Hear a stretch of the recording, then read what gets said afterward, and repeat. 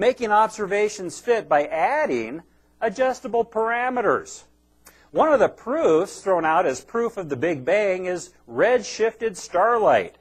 They say that stellar motion assumes that the stars are speeding away from the supposed Big Bang, which causes the red shift. But actually, there are other explanations for red-shifted starlight. The second order Doppler effect says that a light source moving at right angles to the observer will always appear red-shifted. Gravity will cause red shift. When the light passes by a solar system or by a planet uh, or by another star, the gravity can change and cause red shifting in the light. There's photon interaction, and even the slowing of light as if spiral if galaxies are spiraling towards our planet will cause redshift. So redshifted starlight is not proof of the Big Bang. All right, your section on redshift. Um, now, this is a part where I really don't know enough about it um, to, to, to discuss all of the points you bring up. I do know a few things. I did take physics. I had to take um, phys- and physics two was mainly focused on the electromagnetic spectrum and all of that. So I know a little bit about it. Um, not not not enough where I'm really confident talking about it. But the thing that that immediately jumped out at me when you were when you're talking about this is that you're you you mix up, and I know this um, when people are talking about redshift. Um, there's local redshift phenomena, and then there's cosmological redshift phenomena. Local redshift phenomena is two objects moving, one object moving away from the other, or two objects moving away or towards each other for blue shift, whatever. That's that's that's like that's that whole choo-choo train going by you and how the sound goes. I mean, that's that's local. When they're talking about cosmological redshifting, that's actual space itself expanding. That's that that you know, polka dots on a balloon that's being inflated. Very very different phenomena, and the people that study it know the difference. Okay.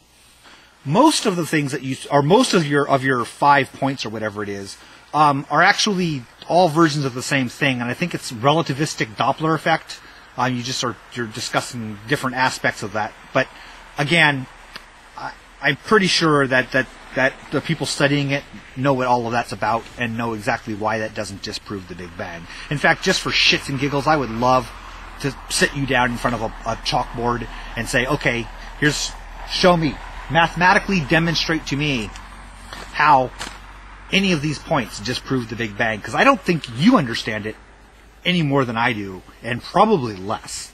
I did have to laugh though that you put on on, I think it was your was it number five or num- whatever it was the the tired light hypothesis that that photons are are slowing down through deep interstellar space and and you know therefore we're seeing the redshift and that that that is somehow um, supports I don't know that the Earth is six thousand years old. Uh, first of all, tired light hypothesis has been pretty much thrown out. It's been a, there's a few people that adhere to it, and I'll get to that in a second. But it has no experimental support. It hasn't been borne out by, borne out by any of its predictions and everything like that. But the important thing about the tired light hypothesis was that it's a, another component of a universe that's trillions of years old. It's saying that if the universe is eternal and light's been bouncing around forever, um, here's how it might slow down, and here's how a redshift might appear um, in opposition to the universe actually expanding. Um, again, it's the complete opposite of any anything you want to be bringing up um, in your Bronze Age mythology. They also like to claim that microwave background radiation, or MBR, is leftover energy from the supposed Big Bang. They leave out a lot of uh, problems with this. For instance, without hypothetical inflation, the Big Bang doesn't predict a smooth MBR that is found. Also, there's only a small percentage of the MBR found that was predicted. You make the claim that the CMBR, the cosmic microwave background radiation, is only a fraction of what's predicted. I would love a source for that uh, because when I looked up the initial predictions of it when it was first proposed um, as, as a as a prediction of the Big Bang Theory. I never, I've never ran. I mean, the numbers look awfully close to me. Now, the, the the error margins have shrunk. I mean, we've gotten much much better at at calculating what we would expect to see over the years. But all of them seem to be in the same ballpark. Uh, I'm not sure where it's a fraction of what we expected. Now, if the Big Bang is the cause of this MBR, it should all be moving out away from the Big Bang. But actually, the MBR is going in different directions. Microwave background radiation is coming from all directions. Well, coming from all directions means it's homogeneous and universal. It's not traveling in a particular direction. Think about this. All stars give off microwave background radiation. I suspect the stars are the source of the MBR. Again, my my ignorant level of physics knows right away that things like stars, um, luminous objects that we see in the night sky, are really, really, really shitty black bodies. Okay, they don't. They're they're they're the opposite of what a black body that would generate micro uh, background radiation that we that we observe. Okay, if that makes sense. Um, things like a black hole, um, things like interstellar vacuum, um, are better approximations of a black body. A star is a lousy black body because it's not a uniform temperature. The temperature varies throughout from the core to the outside varies. A true black body has a uniform temperature and the closest things out there are things like interstellar space. So that's why we know that this cosmic background radiation isn't coming from stars. Um, and I don't know if you don't know that again, or if you're just preying um, on the ignorance of your audience with that one. As I used to be a theistic evolutionist, that's a person that tries to blend evolution into the Bible. So I'm not here to attack anyone that believes in evolution or millions of years. I'm here to help them if they're truly seeking the truth of God's Word. But I like to kid folks and say, just to get them to realize how silly this is, and I'll say, you guys think we evolved from a rock. And they'll say, no, we don't. I'll say, sure, nothing blew up, the Big Bang, a big rock formed, and it rained on the rock for millions of years, and poof, here we are. Isn't that Darwinism in a nutshell? Well, that's exactly Darwinism in a nutshell. So you can summarize Darwinism uh, by saying it rained on a rock for millions of years, and that's where life came from. That's essentially Darwinism. That's pretty much what this book's all about, right? About it raining on rocks for millions of years. That's it. This this entire book really is summarized by that simple, idiotic statement that you um, borrowed from Kent Hovind. Uh, you know, um, I'm gonna, I'm gonna, I want, I want to give you a little piece of advice there, Russ. Okay, a little piece of advice, and I want you to take this with the respectful tone that I intended. Okay, understand. If you haven't read this book, okay, if you've not actually sat down and read, starting from the beginning and going to the end of Origin of Species, any version of it, if you have not done that, then I'm going to respectfully suggest that you shut the fuck up talking about it, alright? Um, because you know what? You make yourself sound like an idiot. You're talking about something you've never read. What would you think of somebody arguing biblical theology with you who said things like, well, Zeus turned Leda into a swan, and that's impossible? You would say, you're an idiot. You've obviously never read this book, so stop arguing about it. I'm saying the same thing to you there. Okay? Um, so, what did what did Darwin actually say about the origin of life? Um, is this book about the origin of life? Actually, no. It's about speciation. Um, it's about your what you would call microevolution. It's about changes within populations leading to new species. Something that you seem to support. You seem to support this adaptation, this derivation of a of a kinds from a whatever, and which is exactly what Darwin was talking about in this book. Now, later on, uh, I mean, other extrapolations of the theory of natural selection went to all of life and such. But for the most part, Darwin's only talking about the same thing that you guys, your microevolution, support, but you don't know that because you've never fucking read this book. All right? What he's the only thing in this book that Darwin talks about the origin of life is that he states at the end in the conclusion that perhaps the Creator breathed into one or a few life forms, talking about the powers of life. The Creator breathed into them. Does that sound a little familiar to you? Do you do you have any idea where he might have come up with this idea of a creator breathing life into something? Huh?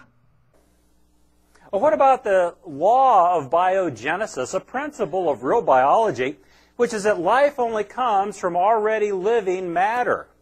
I've always wanted to ask a creationist this.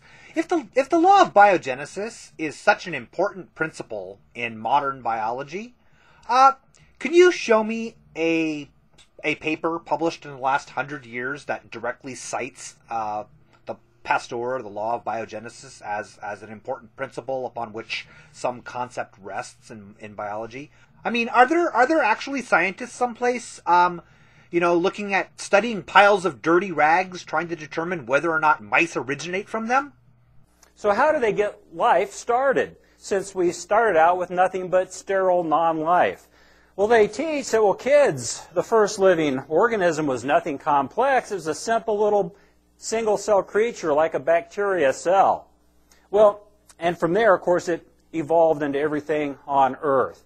In fact, if you look at this textbook, it tells the kids, kids, all the many forms of life on Earth today are descended, stated as a fact, from a common ancestor found in a primitive population of unicellular organisms. Well, how is a kid supposed to argue with that? And they've just taught as a fact that everything evolved from that first simple cell creature. And what proof do they have of that? Well, they tell you that two sentences later. No traces of those events remain.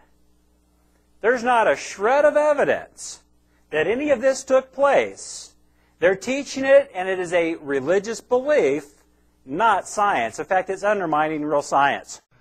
In a brief comment exchange I had with you in the past, you seemed to be somewhat offended that I applied the term liar to you, or at least I supposedly applied the term liar to you. Um, you, I, I'm assuming you believed it to be undeserved.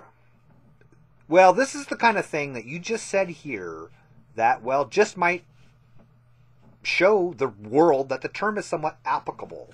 Um, and I think you know what you did here. I think you know the twist.